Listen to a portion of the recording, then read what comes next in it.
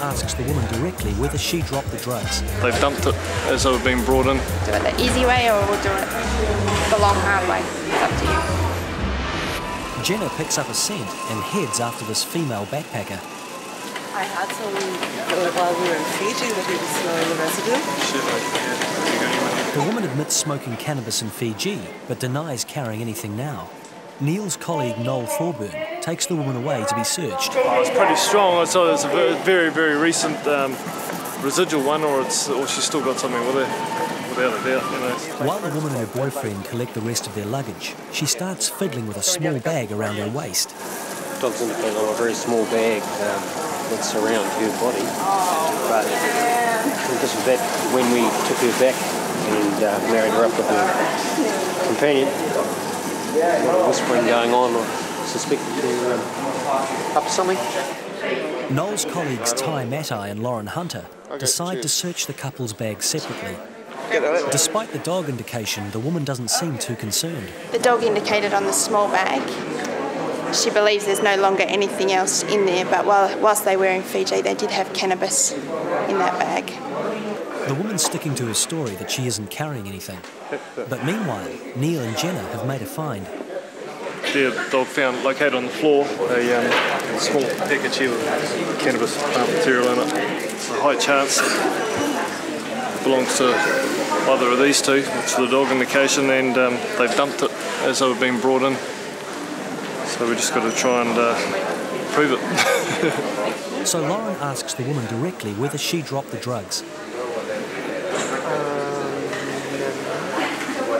you don't seem too confident about that. It's best if you're straight with me now.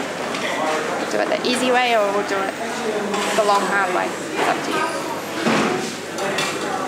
Yeah, there was a little bit, and I left it because I didn't realize Where it did would you make leave a it? problem. I just, when I realized that it, that I couldn't throw away, I just put it down. We have an admission. Because of the woman's admission, both passengers are going to be strip searched. I didn't do nothing wrong. But no more drugs are found in either search. Thanks. The woman has to stay for a video interview. But once he's packed his bags, her boyfriend's free to go. Yeah, yeah, You're yeah. fine, you're walking out. Okay. Yeah. But I can. They can tell me what's going on with her then. Yeah, the police will once it, they do everything. They do the charging or if there's any charging or not. Okay. Okay. Thank you. Meanwhile, Lauren weighs the evidence. It's 4.5 exactly. It's been kept in this this plastic bag, so it's it's sweat. It has sweated in there, um, so the smell's quite strong. The woman's taken through for a video interview. My flight number is on that card. It's the first one Lauren's done, and it goes well to begin with. Is this what you dropped?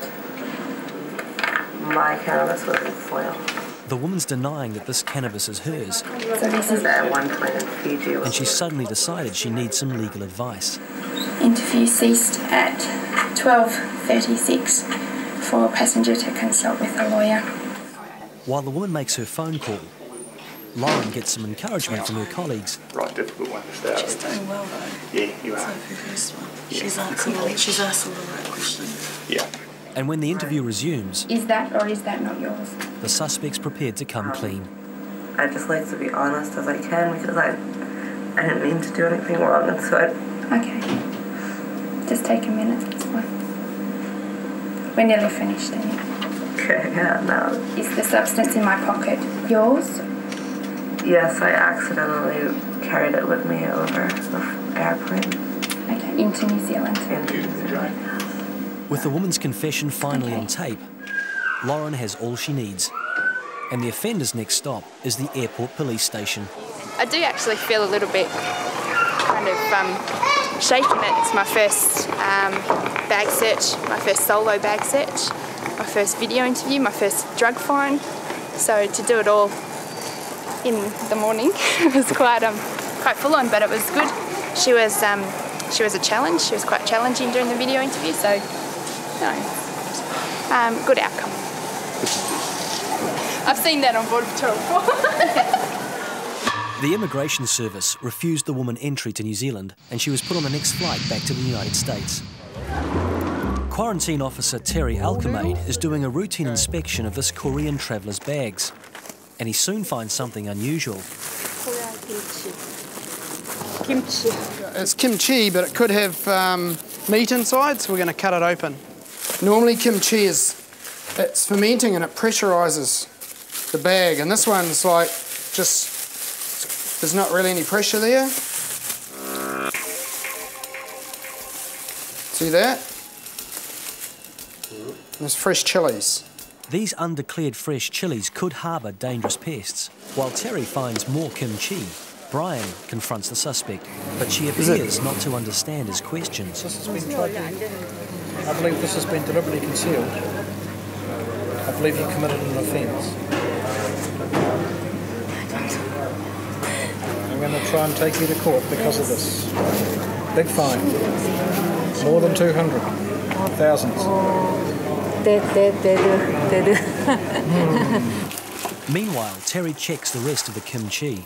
There has been cases of chicken and pork being mixed in with it. It's just fermented cabbage. That's it. That's fine. This lot might be fine, but out front, the language barrier is proving difficult. So the woman's niece is brought in as an interpreter. Just fresh, fresh chilies. Fresh, uncooked What chilies. is this for me? There's kimchi. And these were concealed inside. The minimum thing will be a $200 fine, the maximum will be several thousand. Two dollars.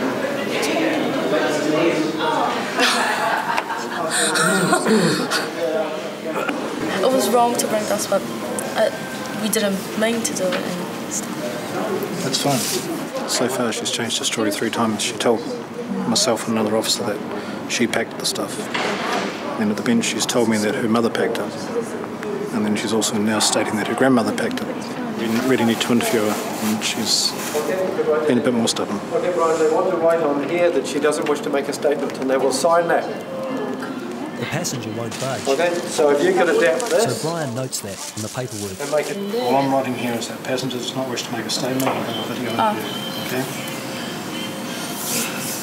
You wish to sign that now? Under the New Zealand Bill of Rights, she's got that right to refuse to talk to us. Um, we've made notations on the, the, the Bill of Rights, uh, advice which she's refused to sign. She has since signed it to the effect that she does not wish to make a statement. Um, what happens now is we'll take some photos of this.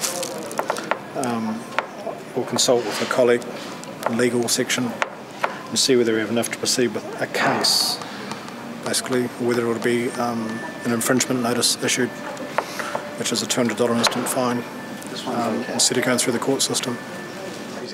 The woman asks if she can leave the chilies but take the kimchi, but MAF are keeping the lot as evidence. Because of the language difficulties, MAF decided not to take the case to court. They issued an infringement notice and the offender paid a $200 fine.